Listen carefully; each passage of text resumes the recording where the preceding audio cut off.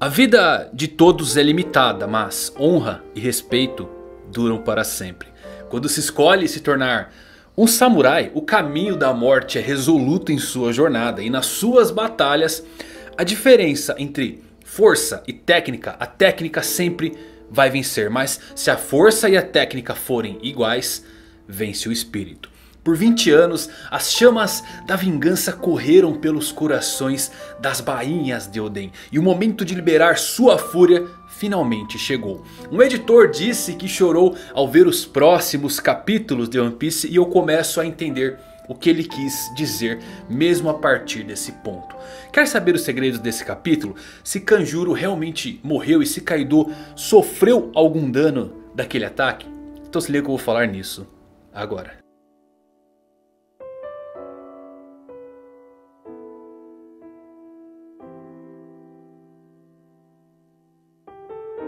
Fala galera, Evandro Fusari com mais um vídeo pra vocês. Como vocês estão? Espero que todos vocês estejam muito bem. Que capítulo meus amigos, sensacional, fantástico, poético esse capítulo. Tantas coisas escondidas. Eu fiquei maravilhado com a escrita do Oda nesse capítulo. E vocês vão ver nesse vídeo os pontos que eu separei pra vocês. Alguns segredos escondidos, vamos destrinchar tudo. O que aconteceu com Kanjuro com Kaido? Será que esse ataque teve efeito ou não? O que vai acontecer? Por que o editor chorou nos próximos capítulos de One Piece? Mas acima de tudo espero que você se divirta nesse vídeo. Se você é novo no canal aproveita para se inscrever, inscritão Mangalático. Deixa o like para dar uma fortalecida. E agora com vocês One Piece 986.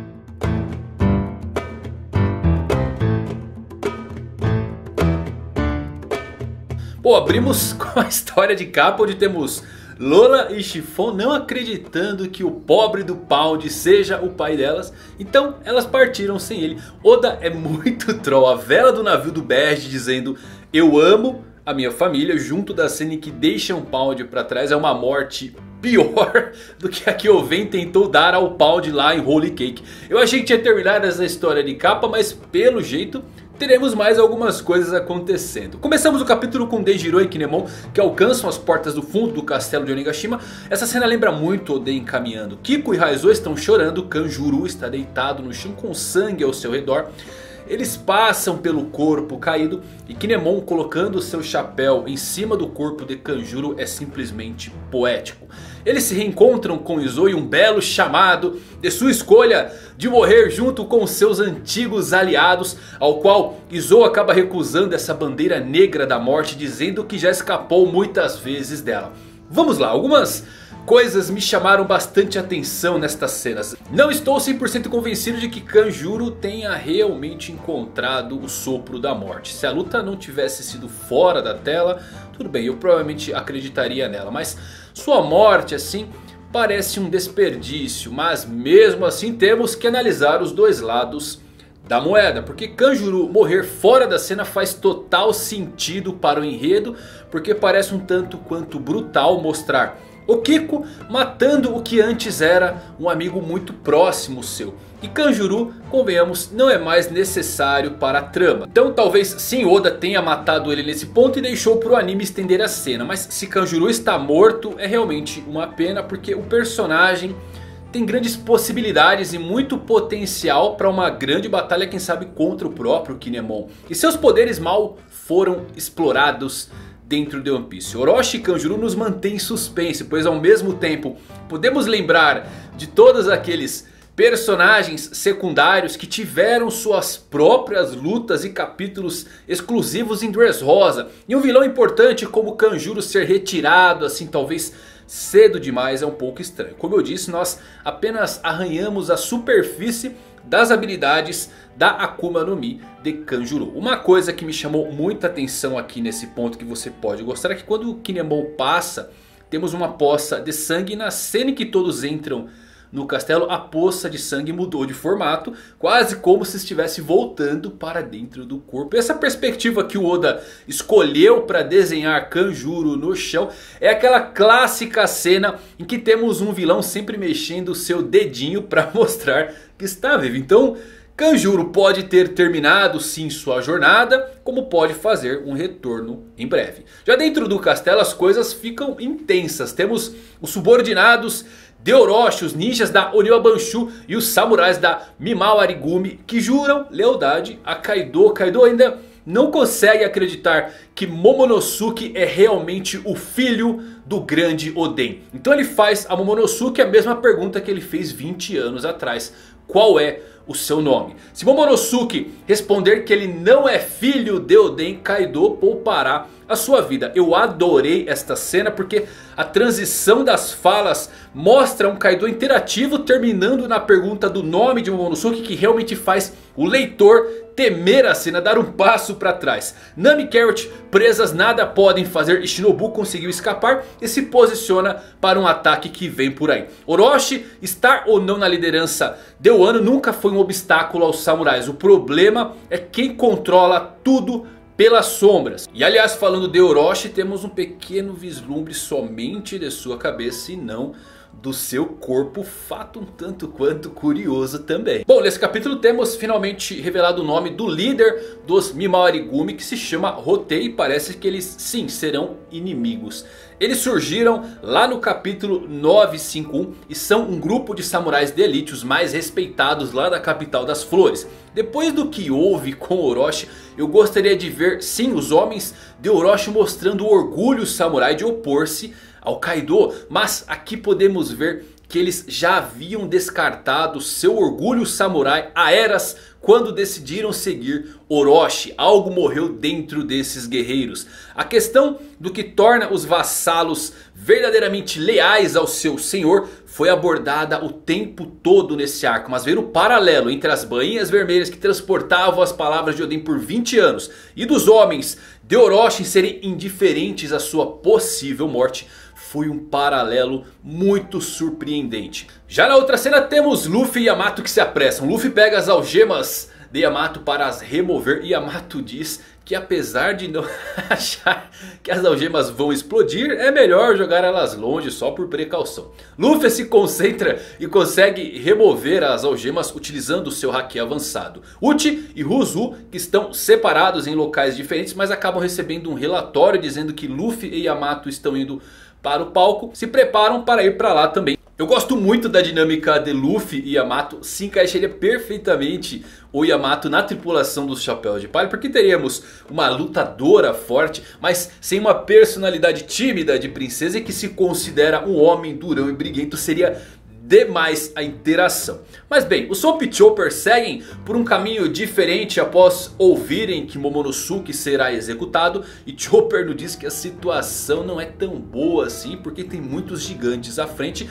Devem ser os outros membros dos Numbers. Isto vai ser muito interessante de se ver. Porque o Monster Point é ideal para lidar contra esses monstros. Mas se tiverem um bando vai ser meio complicado. Enfim, o alarme soa por conta dos intrusos. E vemos Zoro, Kid e Lau. Zoro e Kid estão cuidando dos 500 Gifters. E Lau se move para algum lugar com aquele sempre semblante sombrio que só ele tem. De volta ao palco, Monosuke se lembra das palavras do seu pai, da sua mãe mesmo de Luffy. Ele responde então a pergunta de Kaido e anuncia que ele é Kozuki Momonosuke, o filho de Kozuki Oden e que ele será o Shogun do país de Wano. Mas se ele tiver que morrer e reencontrar seus pais, que seja de cabeça erguida. Realmente venho gostando muito do personagem de Momonosuke.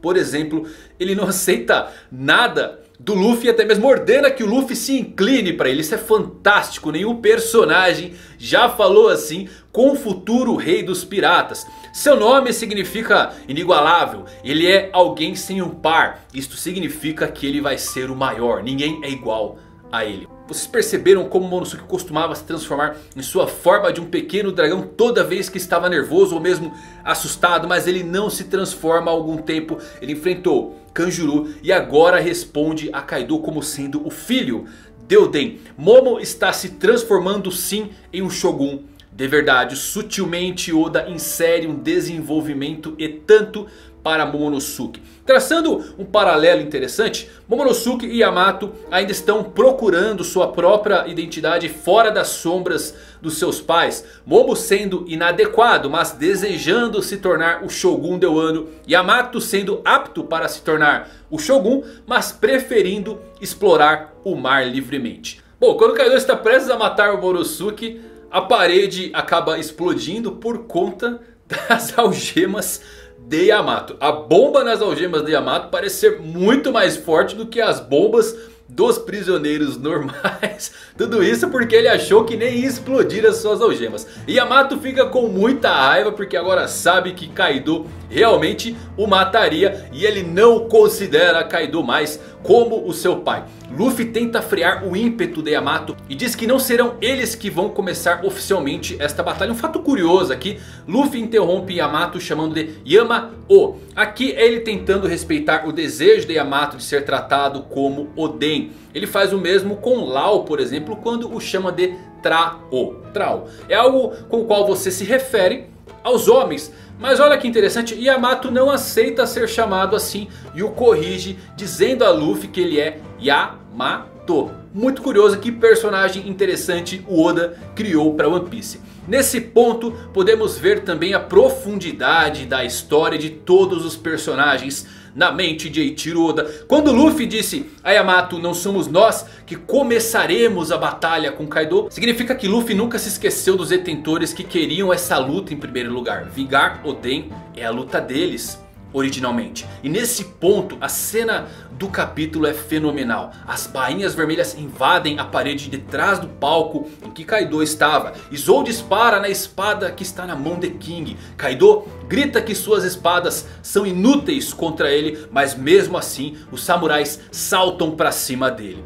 Paguei um pau pro Izou e o desarme King com um único tiro. Eu sei que ele é um comandante de divisão e não machucou o King aqui. Mas ainda assim é um feito impressionante Dado que raramente as armas de fogo são realmente úteis contra lutadores fortes. Temos Ben Beckman e os piratas do Ruivo que sempre estão com armas em mãos. Mas vimos muito pouco disso. Geralmente em batalhas quem utiliza armas de fogo são os marinheiros lá de baixo escalão. Espero que o Oda nos brinde com Izo realmente mostrando as suas técnicas. A cara de raiva de Denjiro é sensacional. Kaido quando brada que não será ferido acaba tendo uma lembrança sobre o dia em que duelou com Kozuki Oden. E vê não seus detentores mas a imagem do próprio Oden pulando para cima dele. Kaido hesita por um segundo e o grito de Tsunade ecoa pelo salão. Após o ataque, Kaido e todos os detentores caem de cima do palco.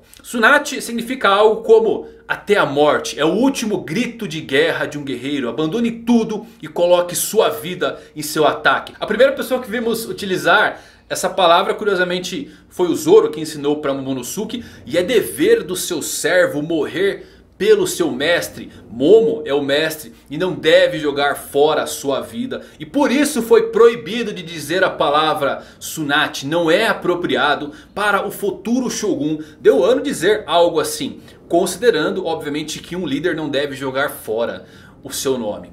Kaido provavelmente ficará bem após esse ataque. Honestamente é o que eu acredito. É possível que Denjiro Kinemon o machuque levemente em seu momento de surpresa e reação emocional ao ver Oden. E estou interessado em ver como Oda vai ter tudo isso se desenrolando. Existem tantos personagens poderosos reunidos nesse capítulo que vai ser muito interessante. Porque ao contrário de Marineford, eles não são todos personagens importantes para papéis posteriores na trama. Como Almirantes, Mihawk, Marco, do Flamengo, entre tantos outros que apareceram na Guerra dos Maiores. Portanto, creio que o capítulo 987 deve ser o fim do ato 3 e sempre termina em tragédia o ato 3. Pela cena configurada aqui, creio que dentre as bainhas, caso acontecer algo algum deles, o que mais vai atingir os fãs, sem dúvidas nenhuma, é com Kinemon. Passamos muito tempo com ele, até mesmo criamos vínculos. Mas ao mesmo tempo eu me lembro que ele nem se encontrou com a sua esposa ainda, então...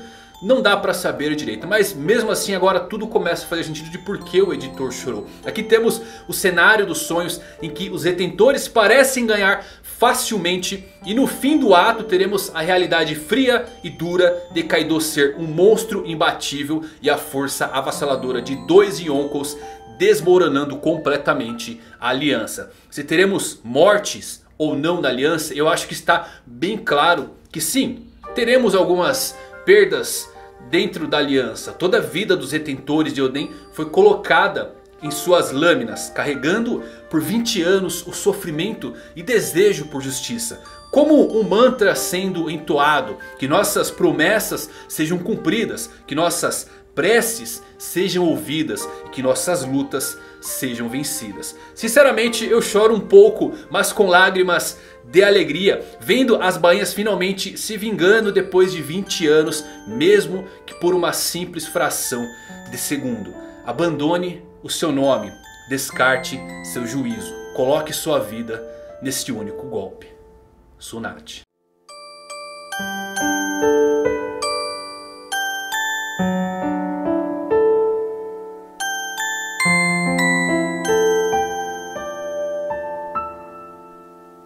E é isso galera, poxa que capítulo incrível demais, eu adorei esse capítulo.